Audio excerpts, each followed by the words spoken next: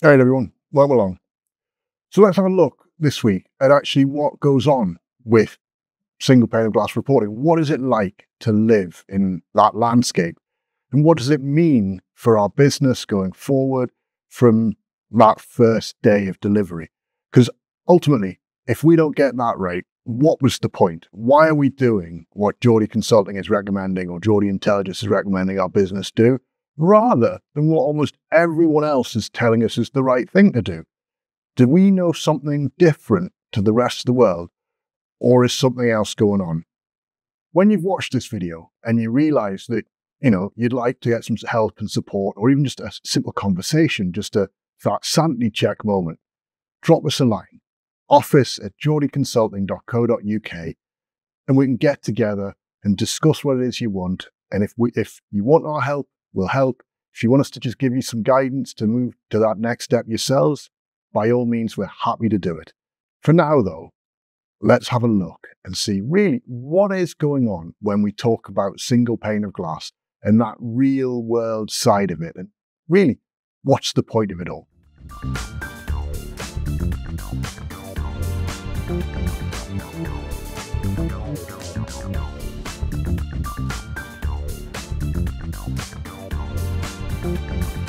So here we are. Okay. This is our single pane of glass. At the moment, we've I've drawn this up around the idea of having a business with three key areas. Okay, we could have more. You could change this layout depending on what you, what it is you want to do.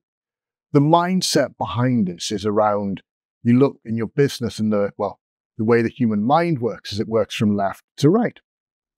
So, kind of on the left hand side, we would traditionally have what we would put as kind of our main department, what's our most important. So, for a lot of businesses, that would probably be their finance department. You might say, well, we're more of a sales oriented business. We want our sales. There's not really a true, this is the hard and fast that everyone has to use for it. It's something that will dictate around your business. You will know when you look at your business, when you look at the reports your business produces, which should go on the furthest left. Okay. So we go left to right in terms of this, but it's a columnar way of looking at it in this Power BI dashboard. And again, dashboards in Power BI are different from dashboards in any other context. Because this dashboard in Power BI effectively is a menu, what we're showing here is what?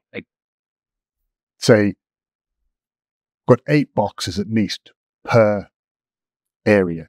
Okay, so eight times three, or 24. So that could be linking to 24 different report packs that we've written or report pages in Power BI or pages of reports.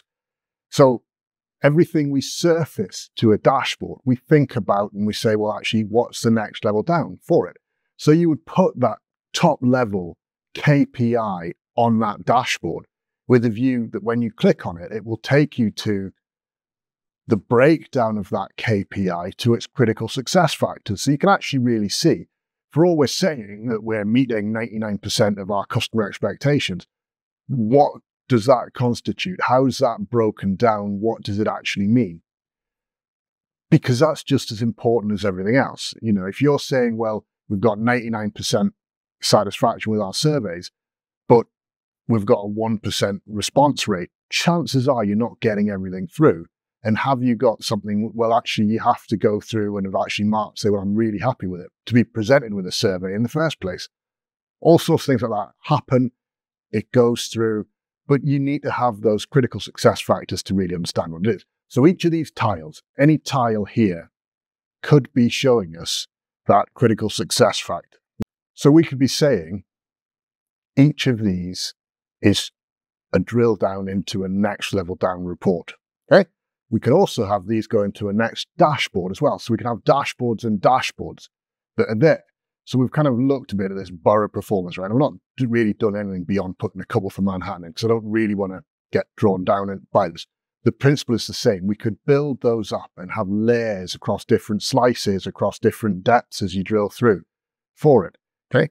This is meant as our senior leadership team app. And the idea of this would be around, well, they're going to go and look at these are the top areas that we care about for us.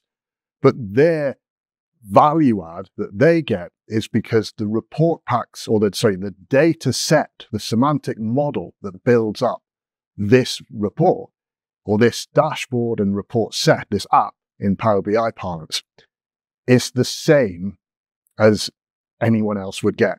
Okay. So the operational team that goes through and works beneath the CFO, for example, who's looking at this from the finance perspective, they will have their own dashboard set. They will be building their own report sets, but based on the same semantic model.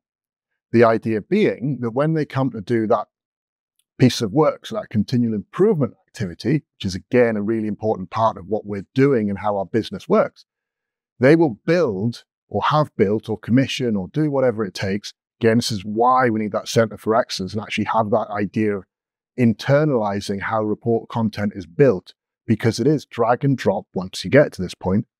They will commission a report that will show this is our critical success factor. If we know this change activity, this improvement activity is going to actually be successful, or is it something that, well, okay, it didn't work. So we know more. So it's successful because it's always successful. But is it successful and we keep it, or is it successful and we don't keep it? Both are important to be able to know.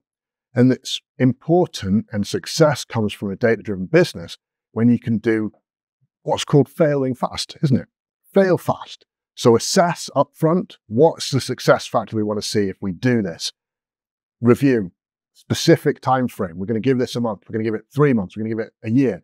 Whatever it is, you need to be able to track that and see progress towards it. I'd say a year is probably too long. You know, fail fast is pretty up to three months. But you could do that, and that's something that we will do. That's how you would track annual year over year progress. Is it going great? Is it going badly? But because we've got the report packs all tied and all connected and all automatically refreshing when our semantic model refreshes, it means that we can keep a track on it and we understand what's going on at all times throughout the whole business. Rather than it being a case of saying, well, I'm going to build a report pack and I'm going to build this deck that's going to show the senior leadership team what I want to do and what success is going to look like. And we go away and we do it. And I said, well, is it going well? They go, oh, uh, give me a week. I'll rerun all the numbers and I'll rebuild the report.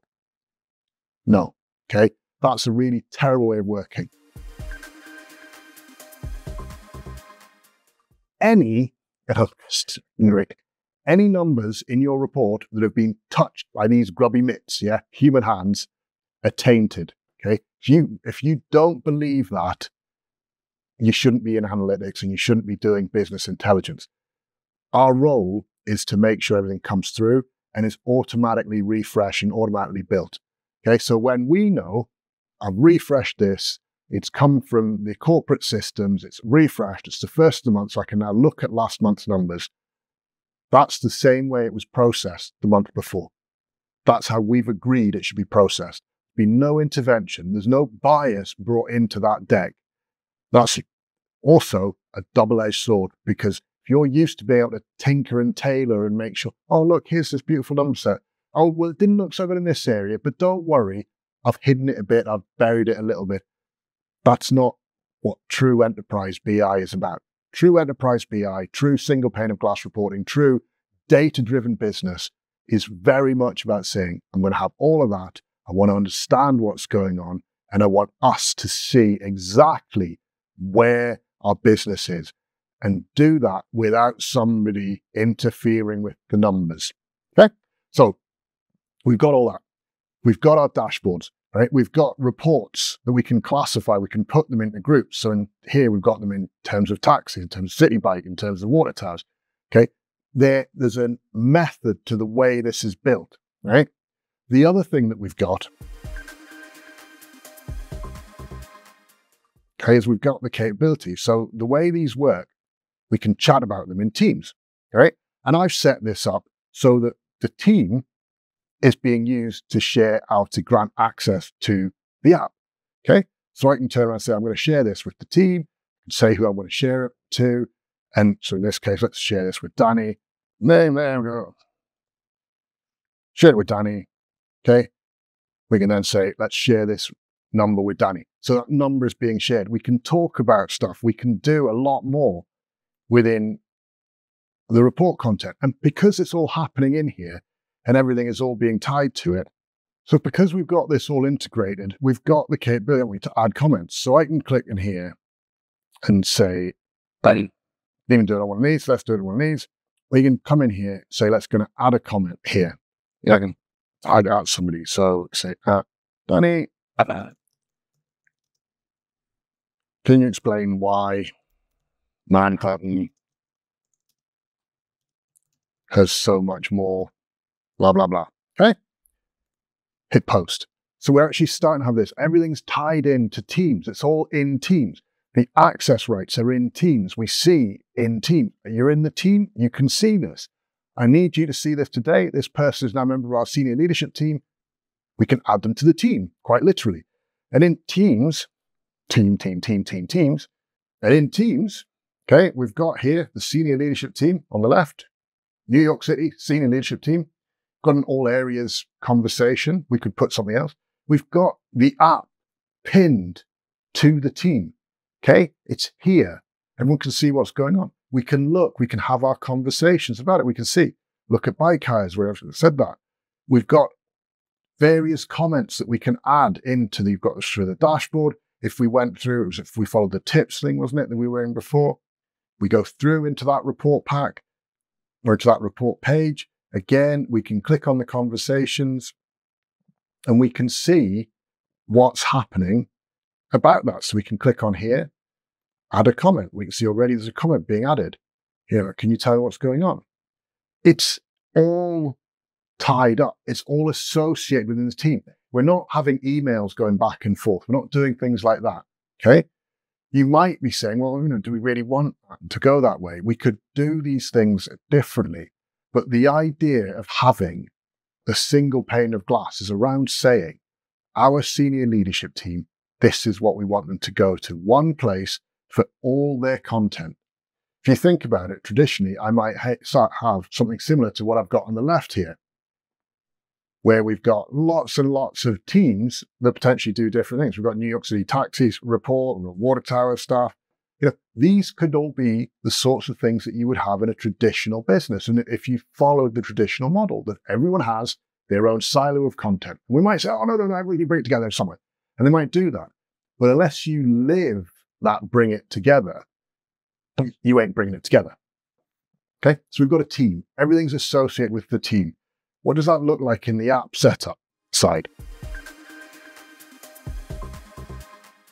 So if we exit the app, okay, and we go to the workspace for it, we can see if we go to update the app, got the app information, we could put that in. We could put specific links in there to go to a, uh, to a specific SharePoint site, to go something else. We want them to do things.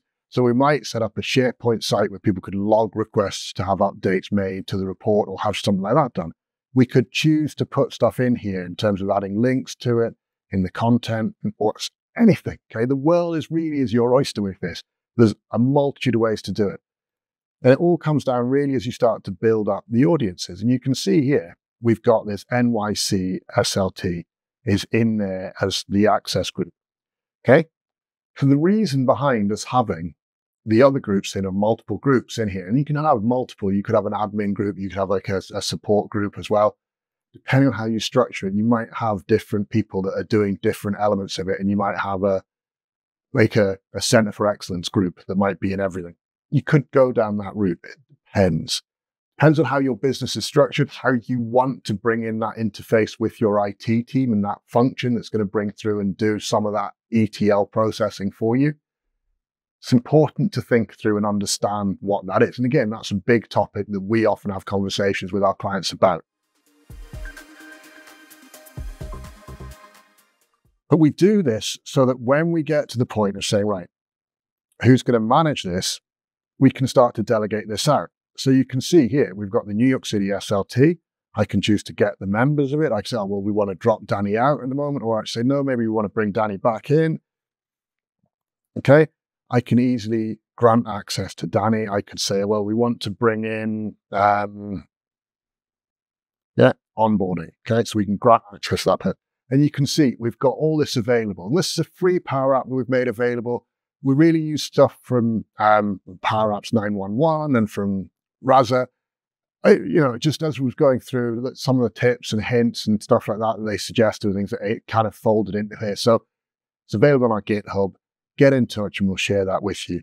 Um, but basically, the idea behind this is we can put that control out there with somebody else to manage who should have access to this. It's not going to work for you for every group that you set up, but in terms of managing who's accessing report content, this is really what you want, isn't it? Because with this, we can actually, no, we added onboarding, it was a mistake, or onboarding is a temporary thing. They've now seen everything they need to see. We can remove them. They'd lose access to it. It's very controlled. Okay. It's also very, not so much public, but open. It's transparent. You know, you grant ownership access to specific people. That remains an IT function to be able to say, right, Ross is going to be an owner of this group, or oh, Danny is going to be an owner of this group, or John or Steve.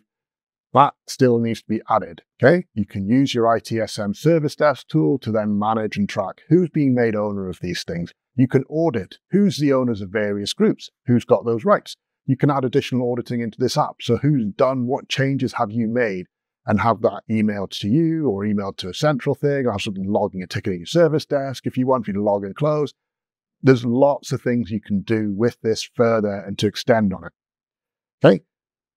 But this is the basic part of it. So you start to then allow people to manage that area of, the, of your business. So who needs to be in charge or who needs to be in this group to see it? They can do this.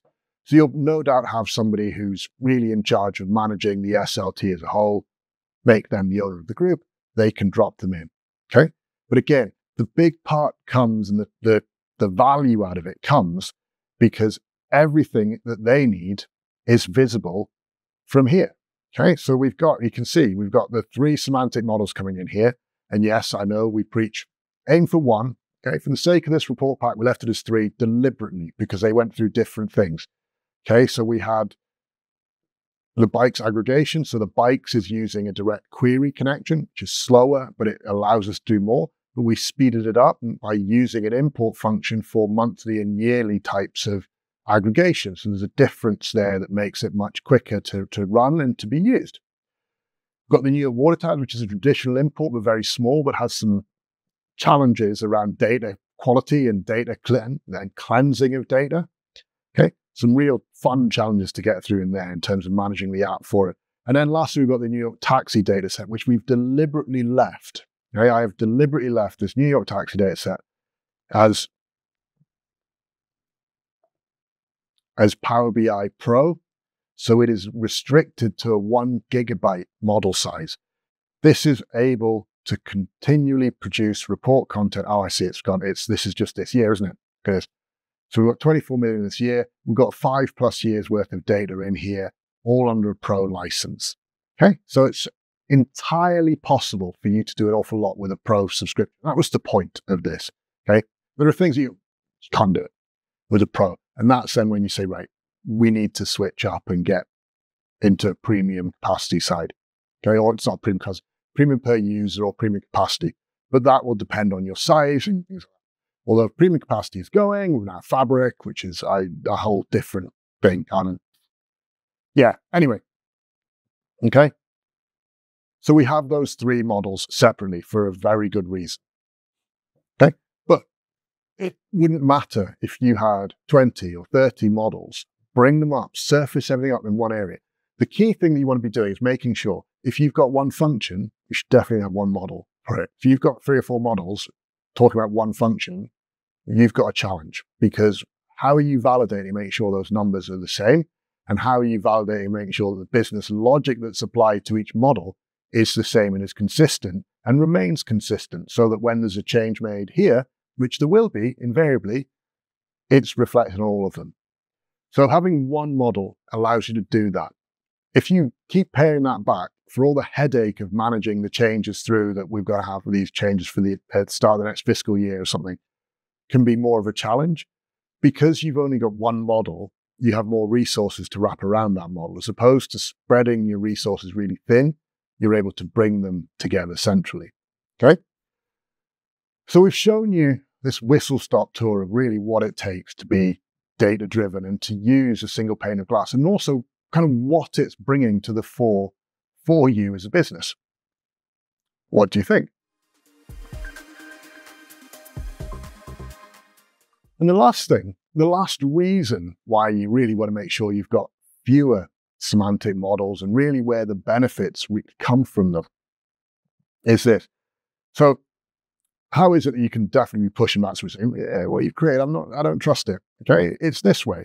So we've got in here the semantic model. We can come to go, have a look at it, open up settings, and then down in here, we've got endorsement and discovery. Okay. So anybody, anyone can promote a model. Okay. So if you're building your model, you think, oh, amazing, I'm great, Just promote it. Okay. You can restrict who can certify. So as a business, what we would always recommend is come up with your certification process. Right. It might be simple as saying, just request it. Okay. Because potentially whoever's approving or marking certified isn't necessarily the one who's going to do it. And what we've found as well is businesses that get really into the, well, we've got guidelines, it doesn't work because you're certifying a model, not a report. Okay, the model is the key. And the model isn't going to have all the semantic, all the, not semantic, all the like formatting built into it that you would expect you could make sure you got the number formatting right. But in terms of saying, well, we want you to use this color, we want you to use this, use that, these are the standards that we have as a business. It's not going to happen in the model. Okay. So you need to be sensible about it. But this is something that you can definitely tick the box for, and you can make sure that we you put someone on the hook for it. So if you know Ross is going to come through and say, well, this is what I'm going to tick, and come through here. So I'm going to make it discoverable, which of course means do I see it if I look in Excel or in Power BI desktop for show me a data set. So if you're going through, this is a highly confidential, all HR data that's really secret, secret, secret with everyone's home address information that we need to be able to visualize it because somebody wants it. Can't imagine why you'd want that, but you know, there's nothing ethical. But anyway, okay, that might be one you might want to untick that box for so people don't randomly stumble upon it. But make discoverable. Definitely, it's a good thing for those core line of business report packs based on if it's promoted or certified. See a bit on that actually to make it easier for you. Based on if it's promoted or certified, will dictate whether it, how high up the list it appears. So it's alphabetical, or it's not alphabetical, it's last modified, based on the last modified. But if it's certified, it will always appear at the top. So certificate, certified data sets go and then by last modified, by date modified from the top, then promoted, and then none. But so you kind of get to that. There is a hierarchical structure. So your line of business ones, your people who are going to go, oh, I want to write a report about this.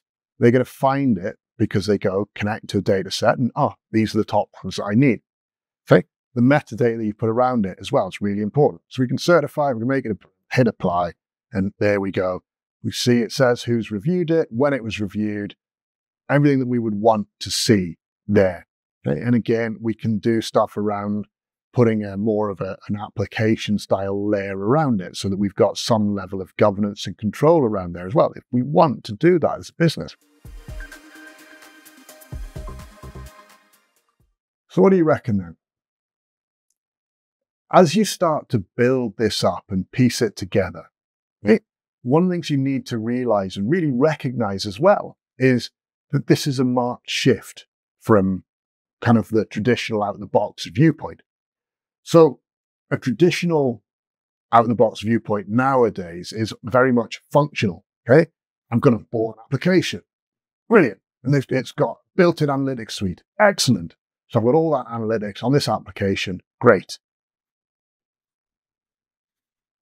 Not that is it. It's that. And we want that. Okay.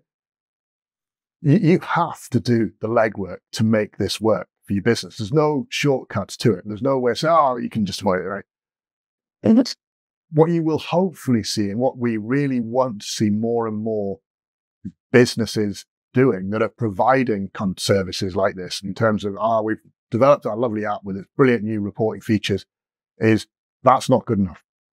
What we really want is a clear and easy way of connecting to your data and getting information out from it. I don't mind if it's like a view connection, like a data, direct database connection in terms of a view, or if it's case saying you have to structure and download CSV files or Parquet files or the like. But what we need is something that we can just download data from. Okay.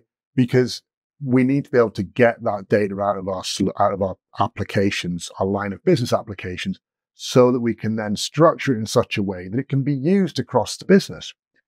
If we are just going to keep putting in new applications in their whole new silo, all we're doing is continuing the siloed way of working. And time and again, I keep being told, oh, silos are bad. We don't want silos. Silos aren't the way to run anymore. You know, 21st century, we want big, broad, everyone should see what's going on. So we need to live that dream.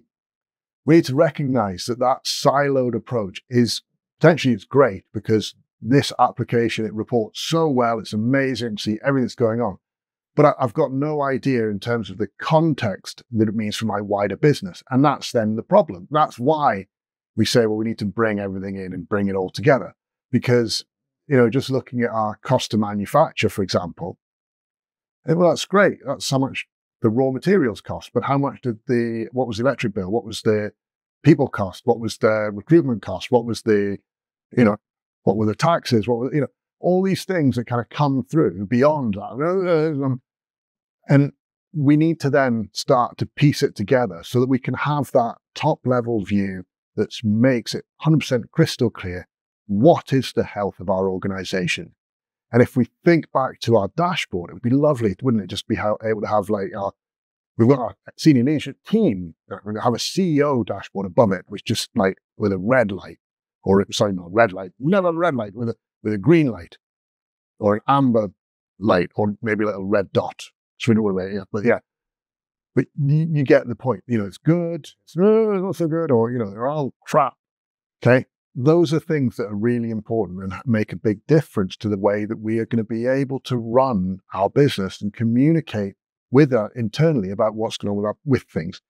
It also helps break down the barriers, doesn't it? This is one of the other bits that just kind of, it's a bit of an emergent result. Because everyone's looking at the same data, a lot of the barriers that we put up to protect ourselves from the other silos are broken down because we can see what's going on. We, we also know they can see what's going on in our area. So there's a lot, there's a greater chance that people will actually be willing to work together. I'm going to say it's definitely going to happen, but you've got, it opens up a lot more easily and is more readily available in a business that is more transparent and open than if you keep those dedicated silos of information. Okay?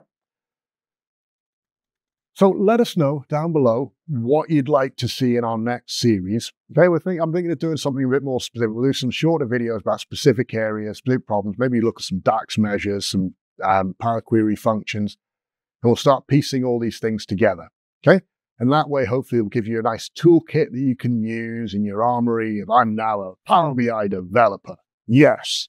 Okay, but for now, stay safe, take care, ta-da.